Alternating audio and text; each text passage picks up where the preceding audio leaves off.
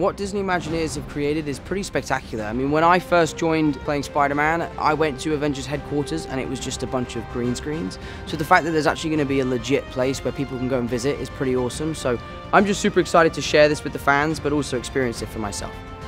Peter Parker has started an initiative called WEB, which is the Worldwide Engineering Brigade, and he is giving a presentation on this new piece of tech that they've invented, which is the Web Slinger vehicle. And he's going to be giving people a tour, and something goes wrong, and he needs everybody to help him out to save the day. For me personally, it's the most I've ever felt like Spider Man. So everyone is going to get to share that experience, which is so awesome. Uh, so I'm just really excited for it to open, and I want to go and ride it again with all the fans.